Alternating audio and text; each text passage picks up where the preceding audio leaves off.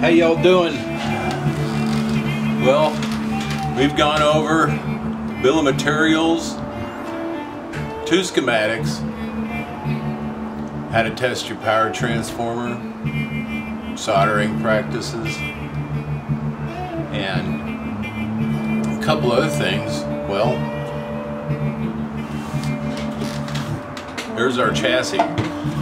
It's a, a little bit different than what uh, I talked about, but it's a new one. It's a little thicker, which is okay.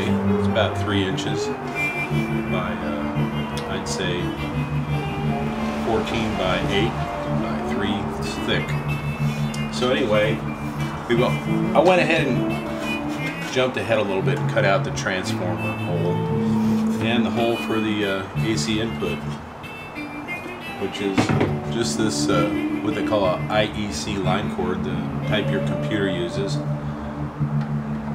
It just drops right in there. The trick on this today I use is a Dremel with a cut-off wheel and pretty much scribed it out first. I'll go over that real quick uh, with the calipers, my favorite scribing tool. Basically what I did is, uh, I don't really care what the numbers are saying, even though these Harbor Freights will lose their zero, so you gotta watch them. First I measured this, and then figured out where I wanted it. So I know my thickness came out to be a little over an inch. So I figured, okay, I'm gonna start right here. So I just plowed that thing right in on the center, drew one line, and it's over here towards the side. You wanna keep all your AC power as far over to the side as possible. And then I added pretty much just by opening the calipers and referencing to the side of the box and the other side and scribe my other line.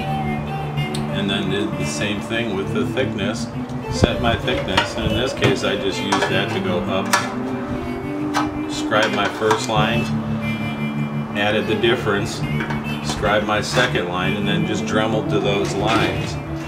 I transfer drilled both holes just with a sharpie went ahead and went in there like that and went ahead and drilled them through and so now that's done. Also, using the same center line as these mounting holes for the AC input plug, I went ahead and just drew a line over and then this is my fuse hole. Then over here, two more scribe lines. We're going to run a 8 ohm and a 4 ohm switch because our output transformer can do both. 4 ohms gives a little bit more of a dirtier sound, 8 ohms is a clean sound. So we'll have that switch here. Also we'll have our output jack mounted over here. With the transformer it was a little bit, whoops, there's a little bit different, uh, basically the same way of describing out, but I actually uh, had an old hole from this transformer, another chassis, and just transferred that onto here, but it's the same thing. Measure the width, the thickness. Uh, you want to get it as far over in the corner as you can. So put a little paint on it and it's ready to go. Um, so now what I was going to talk to you about real quick is where to place the tubes now. The rectifier tube sees a lot of AC. So we'll keep it over here in this noisy AC part of the chassis. And uh, the preamp tube we'll put over here towards our sensitive signal part. Now, this is the area where you don't want to mix too much the AC and the uh, audio signal, especially the input. And this will over here be the where the power tube sits. I got two little dots, and hopefully I'll be able to punch those uh, during the video and I'll show you how quick it goes. As far as the front panel goes, here's a typical volume potentiometer. It's got a little tab on it. Some people like to drill a hole and keep it from spinning. I just kind of bend it out of the way and be done with it. Now you don't want to get them up too close to the top because knobs are going to point over the top, you know. I'm going to actually pull them down a little bit below center, somewhere about uh, typical, about an inch off the bottom. And on these, there's a minimum spacing for knob clearance between the pots. I like to use about an inch and three eighths between. So we'll get our trusty calipers again, check the zero, they're zeroed. And uh, I guess we'll get an idea of where we want them to be. Figured it'd be about an inch. And uh, it is, comes out to be an inch. So just draw a real light line going all the way down. Now there's uh, going to be a power switch, pilot light, a standby switch, which will turn the AC, the uh, DC on and off, the high voltage.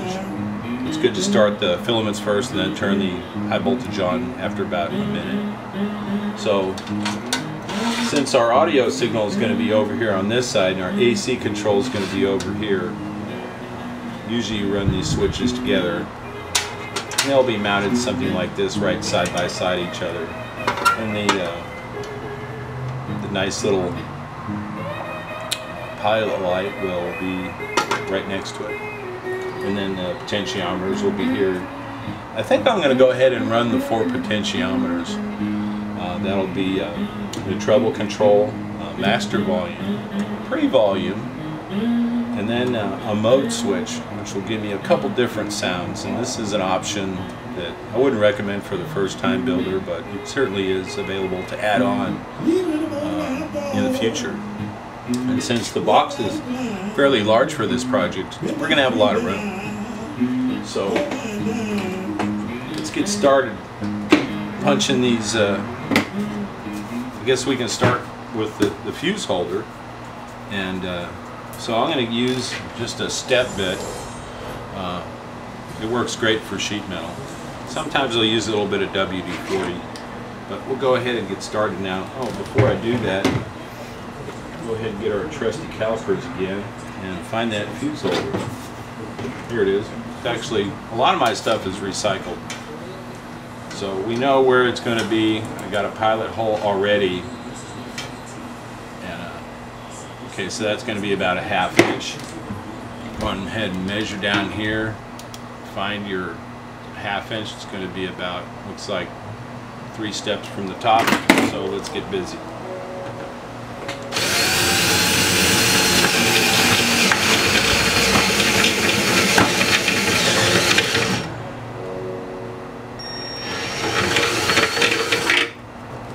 check that real quick. Actually, I'm not going to use this wire. I'll just cut it off. Okay, so there we go. Got some burrs on the inside, but we'll take care of those. So that's our fuse. We're going to need to have a switch and an output jack the output jack, there's two different jacks here that I specified. One's grounding, it's actually going to stay grounded unless you put your plug inside. That'll be the input. The output doesn't need to be grounded. It's going to be in the back. This is the back. You always want your power transformer usually away in the corner, right next to the power input and fuse. So we're going to be on the audio side, in this case the left side. And since it's the back, that's where we're going to put our switch and our fuse holder. So usually I'll just take a little quick Sharpie. I already have my scribe line, so I have the same level. So it's going to look good. I'll say we'll go about right here for the switch, and we'll go about right here for the output. So let's get busy. Start off with a pilot drill. Usually I get a tiny little thin one, that way it won't dance around too much. This aluminum box is pretty thin. A little on the thinner side than I like.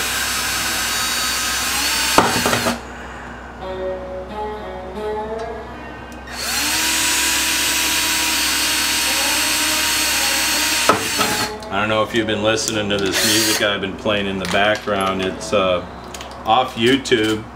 Go ahead and type in Swamp Slide and it's under playlists hear some pretty cool stuff. I love these stubby drills. You ever get an extra 60 bucks, buy a set of stubbies. They do not flex, they're very safe, and they tend to last a long time. You'll never break one. Okay, so I'll get these holes started since I got the drill in my hand. Okay, now let's see, what are we doing? Uh, we are going to drill for a switch. So we'll go ahead and just measure the diameter of that, match it up to the step size.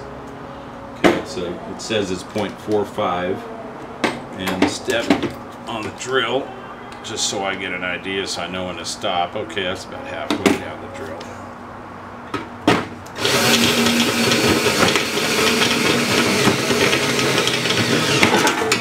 There you go. Always recommend Milwaukee power tools because they got a ton of torque. Yeah, you can see what happens with that that'll fit perfectly. Now we have an output jack. They're a little bit smaller diameter wise. Check our zero, it's off already. Good old Harbor Freight. Uh, says 3.37, so you don't have to do this. You can always just recheck and recheck and recheck. That's gonna be, uh, it looks like about three to four down.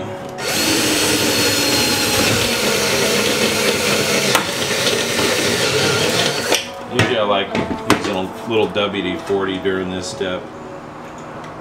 It keeps it from sticking. Okay, so that's to be a little tight, but that's all right. So there we go. Nice and straight. Very professional, if that matters to you. Get ahead on this. Of some of these shavings. I like to try and work as clean as I can with these shavings. Now we talked about our tube placement. 5Y3, 6V6, and the preamp tube, the 6SL7. I'll show you the sockets I got for pretty cheap from Antique Radio Supply. I haven't used these before, but they're, they're pretty nice, all ceramic. Brand new, though I've been known to uh, recycle quite a bit of stuff. In this case, we'll go with some brand new sockets.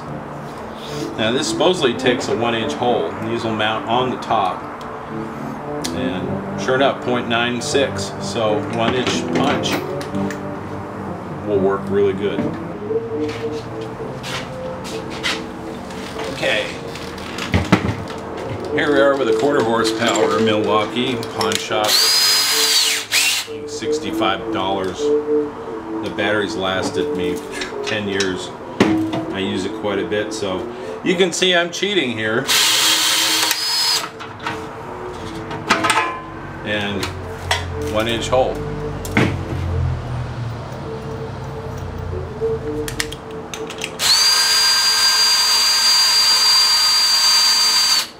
Leave the sheet metal piece inside because it's these newer boxes are so thin it doesn't really change the performance.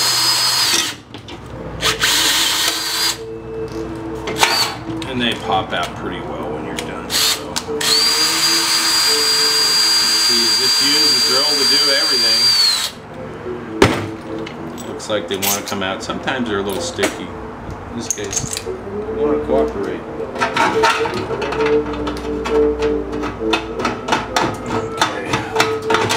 trying to do this for the most part. I don't want to get my finger stuck underneath that thing. That wouldn't be very fun.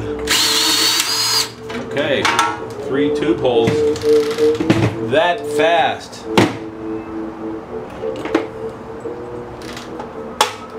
Here we go. Antique radio got these nice little ceramic sockets all in tissue paper.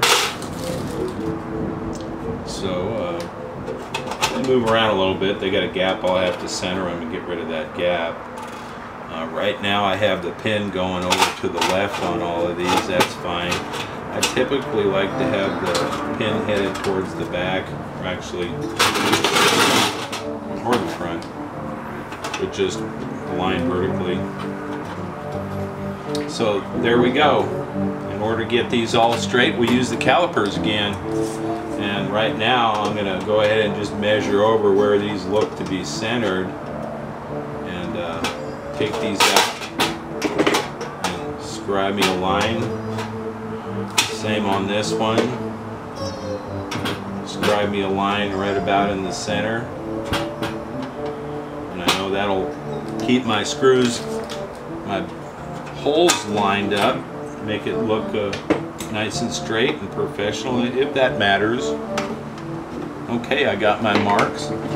Now I can just put these guys in again and then just, uh, they even have an oval hole so you don't have to be perfect. I don't really need to scribe the line this way because I can just, what we call transfer drill, take my Sharpie and just mark it on that line. And then I go in with my small pilot hole drill and uh, follow it up with about an eighth inch hole or whatever hardware I want to use. I'll probably use 440 or 632. So on the front panel, let's discuss that a little bit more. And uh, next time you see me, uh, all the holes will be drilled. So, and then we'll be able to uh, start test fitting. Now, obviously, this is where we've decided to make things happen. It's really not going to be that easy to change things. Something you want to think about is the ergonomics. The front panel, you know, I got a front panel finish, I'll be honest. Uh, I love front panels. We're going to end up putting some nice gold vinyl on this. This is, uh, the vinyl is so thin, it's a metallic uh, vinyl. It'll show almost every scratch underneath it, so I may want to prepare the surface. But we'll do that at the very final step after the amp is completely fine-tuned, biased, and everything. We'll go ahead and pop everything through, just kind of let it hang by the wires. And uh, do a fine sand on this with a little bit of water, kind of get it all polished up, then just put the vinyl down and follow it up with some uh, some labeling off a plain old label, label maker and it'll look pretty good. It'll look professional, I guarantee. So, that's it right now. You can see how simple it is. It's really no worries, you know. I just don't like doing sheet metal. I don't like to dremel and grind and make a lot of dust and stuff though, but that's how in this case I did this. If it was a thicker metal box, I would have got out my jigsaw. But uh, uh, you know, it's a little tough. Uh, you can also use what's called a nibbler. And these are really neat. It's got just a tiny little little thing here that pulls down. It's a little blade, and uh, it takes takes tiny little bites, but you can make some pretty precision work with it. Um, that's about all we got right now. Uh, I'll talk to you soon with a finished box.